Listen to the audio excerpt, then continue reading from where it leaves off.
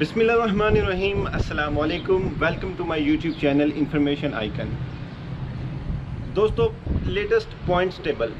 کل South Africa کی New Zealand کے ہاتھوں پھر ایک دفعہ شکست کیا پاکستان ٹیم پر اس کا اثر پڑے گا؟ اس ویڈیو میں اس پر تفصیل سے بات کروں گا۔ اور پاکستان کی ٹیم اس ٹائم پوائنٹس ٹیبل پر کہاں موجود ہے؟ کیا پاکستان کو سیمی فائنل تک جانے کے لیے کیا کرنا ہوگا؟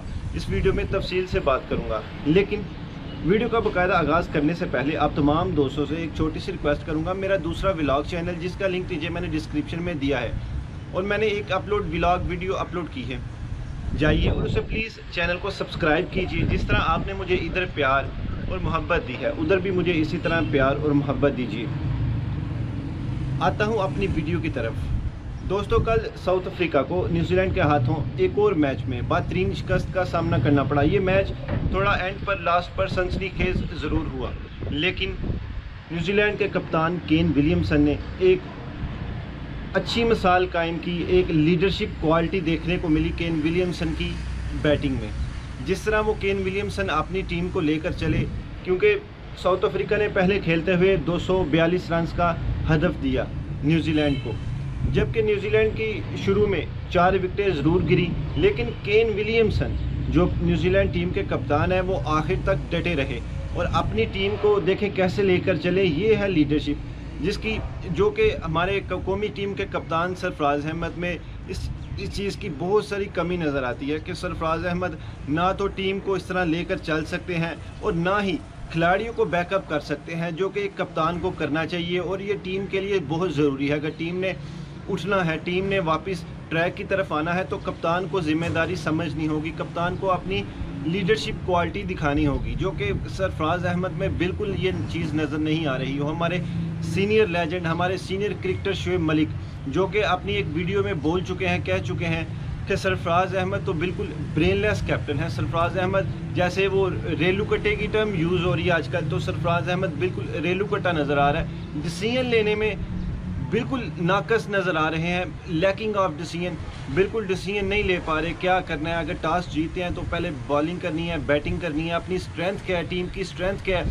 اس چیز کے حوالے سے انہیں بالکل بھی ایسا لگ رہا ہے کہ اندازہ نہیں ہے۔ اگر آپ ساؤتھ افریقہ اور نیوزی لینڈ کے کل میچ کو دیکھیں، تو دیکھیں ایک چیز تو وہ ہمیں سیکھنے کو ملی کہ ساؤتھ نیوزی لینڈ کی ٹیم میں، جب نیوزی لینڈ کی ٹیم نے بیٹنگ کا آغاز کیا، تو میڈل آرڈر ان کا ایک دفعہ لڑ کھڑایا اور کین ولیمسن جنہوں نے اینڈ تک لاسٹ تقریباً چار میں چار بالز پہلے انہوں نے ایک چھکا لگا کر اپنی وننگ شاٹ لگا کر اس میچ کا اختتام کیا اور ان کے ساتھ ایک کھلاڑی تھے فریکسن شاید۔ انہوں نے بھی ایک لمبی کین ولیم کے ساتھ مل کر ایک لمبی پارٹنرشپ قائم کی، جس کا ٹیم کو بھرپور فائدہ ہوا۔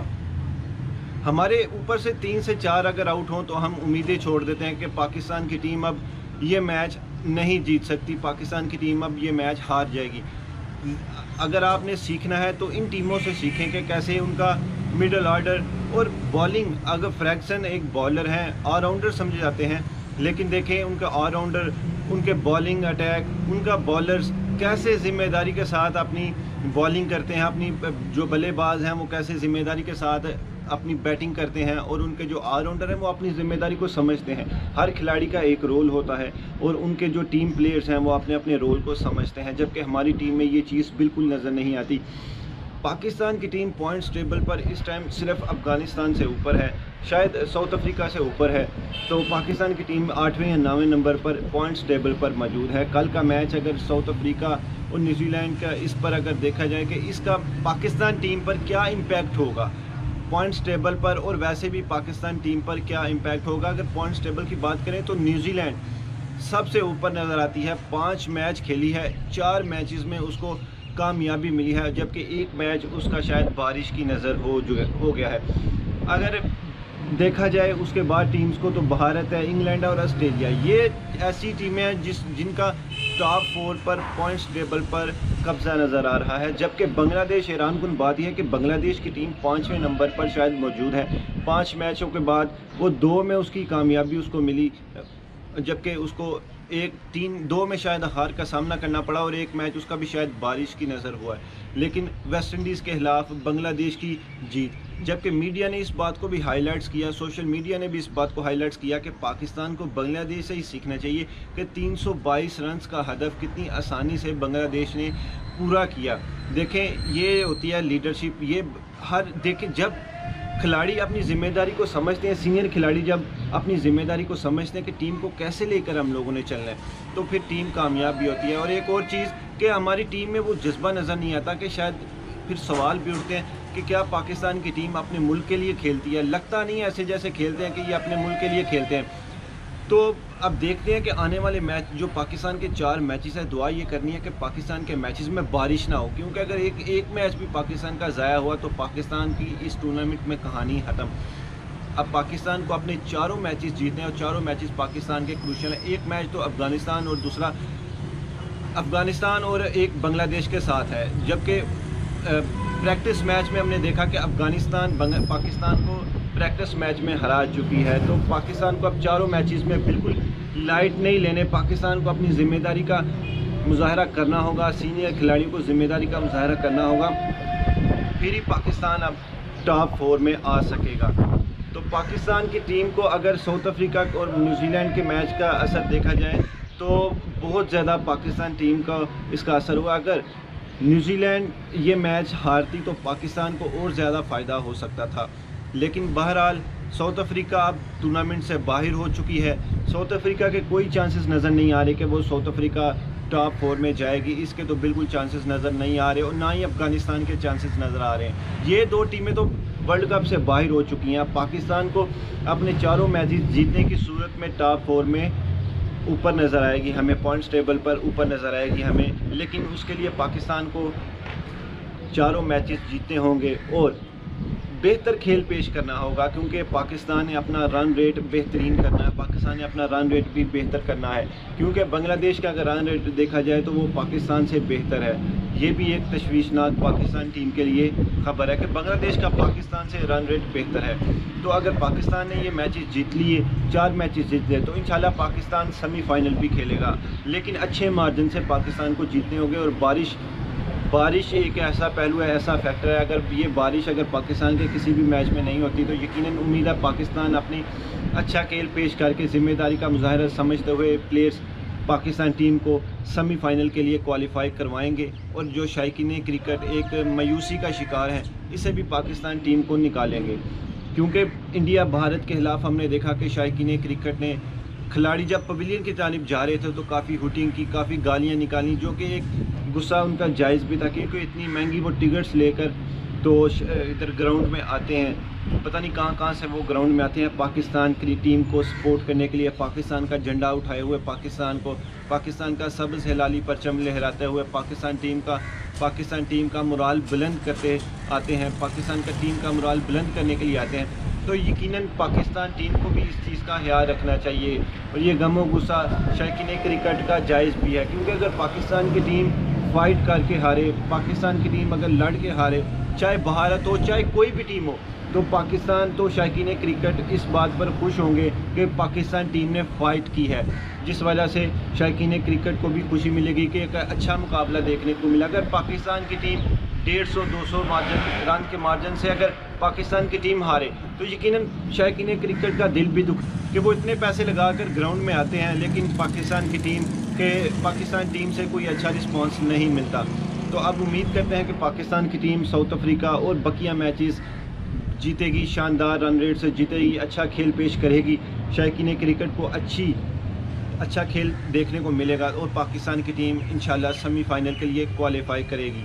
تو پاکستان کی اس ٹیم میں کچھ تبدیلیاں بھی ہو سکتی ہیں۔ ہاری سہیل، شعیب ملک کو ڈراپ کر کے ہاری سہیل کو کھلایا جا سکتا ہے۔ یہ بالکل امکانات واضح ہیں، کیونکہ سرفراز احمد بھی اس حق میں نہیں ہے کہ شعیب ملک کو اب موقع دیا جائے۔ شعیب ملک بالکل آؤٹ آف فارم ہے۔ ہاری سہیل، میں پہلے بھی اپنی ایک دو ویڈیوز میں بول چکا ہوں۔ ہاری سہیل بڑے اچھے بیٹس مین ہیں۔ ہاری سہیل میڈل مڈل آرڈر کے بہت اچھے بیٹس مین اپنی ذمہ داری کو سمجھتے ہیں اور سکور کیے ہیں۔ آسٹریلیا کے خلاف بھی انہوں نے سکور کر کے دکھائے۔ اس سے پہلے میچز میں بھی وہ انہوں نے سکور ہاری سہیل نے سکور کر کے دکھائے ٹیم کو۔ ٹیم کے لیے سکور کر کے دکھائے۔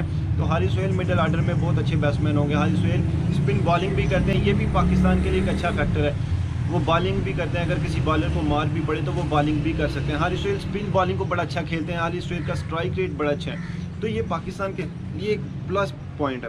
جبکہ آصف علی اور شعیب ملک کو باہر بٹھانا ہوگا۔ اگر بالنگ کی بات کی جائے تو ایک سپن بالر کم کر کے اماد وسیم کی جگہ شہین افریدی کو ٹیم میں لانا ہوگا۔ شہین افریدی نئے بال سے اچھا بال کرتے ہیں۔ حسن علی تو بالکل بھی نئے بال سے بال نہیں کروا رہے اور نہ ہی ان کی، حسن علی کو یہ پچھلے میچز میں بھی ہم نے دیکھا کہ حسن علی نے پرانے گیند سے، حسن علی نے پرانے گیند سے اچھی بالنگ کی۔ حسن علی، کیونکہ بالرز کو اس ان وکٹوں پہ ابھی ریورس سوئنگ نہ ہونے کے برابر مل رہی ہے، تو یہ بھی دیکھنا، یہ بھی دیکھنا ہے کہ حسن علی جو نئے بال سے تو بال نہیں کروا رہے، لیکن اگر انہیں پرانے بال سے اگر دیا جائے، چانس موقع دیا جائے، تو امید ہے کہ یہ وکٹ نکالنے میں کامیاب رہیں گے۔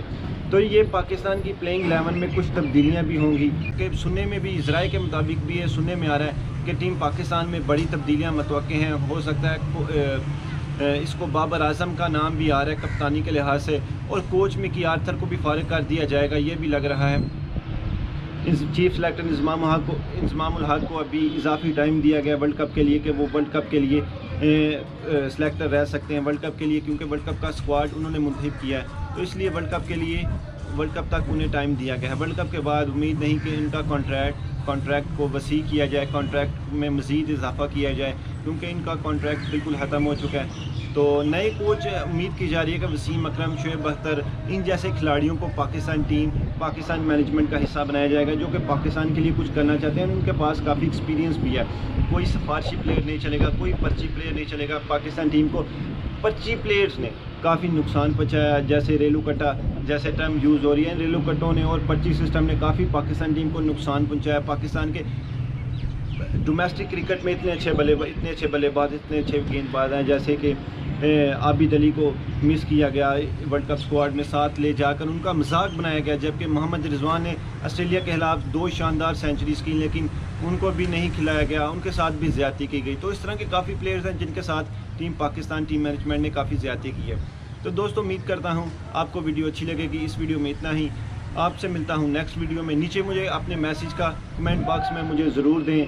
اپنا میسیج ضرور دیں۔ آپ کی راہ کا مجھے انتظار رہے گا۔ اس ویڈیو میں اتنا ہی۔ اپنا بہت سارا خیال رکھیے گا اور مجھے دعاؤں میں یاد رکھیے گا۔ ملتا ہوں آپ سے نیکسٹ ویڈیو میں۔ اللہ حافظ۔